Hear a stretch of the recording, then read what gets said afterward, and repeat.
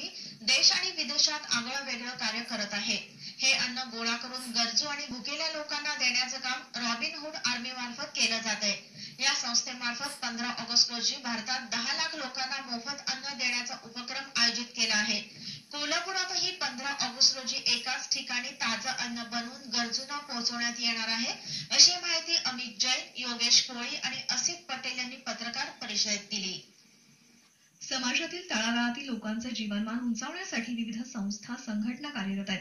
त्यात robin hood army या संस्थेची भर पडली आहे ही संस्था हॉटेल लग्न समारंभ आणि विविध कार्यक्रमात उरलेलं अन्न वाया जाऊ नये म्हणून हे अन्न गोळा करून गरजू आणि भुकेल्यांना पोहोचवण्याचं काम करते जगभरात या संस्थेचे नऊ हजार सदस्य आहेत. कोल्हापुरातही दोनशे सदस्य अशा प्रकारचं कार्य करतात एसटी स्टँड कनान नगर झोपडपट्टीचा भाग या ठिकाणी रॉबिन हुड संस्थेमार्फत भुकेल्यांना अन्न दिलं जात आहे कोल्हापुरात पाच ते सहा हॉटेलमधील उरलेलं चांगलं अन्न गोळा करून ते गरजू लोकांना दिलं जात आहे.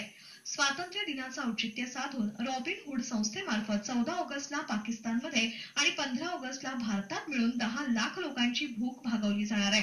कोल्हापुरातही तीन हजार लोकांना स्वातंत्र्य दिनी गोड घास पोहोचवण्यासाठी रॉबिन हुड संस्थेनं नियोजन केलंय.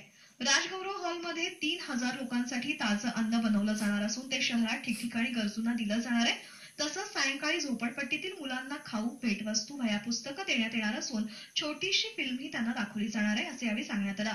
पत्रकार परिषदेला सुनील शहा नुपूर रावळ प्रदीप कुलकर्णी उपस्थित होते.